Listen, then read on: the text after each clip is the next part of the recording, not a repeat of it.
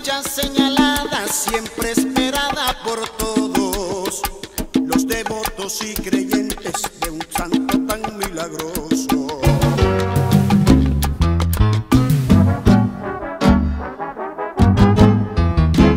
Un santo que se ha ganado la fe y confianza de aquellos que han recibido la gracia de sus milagros tan buenos.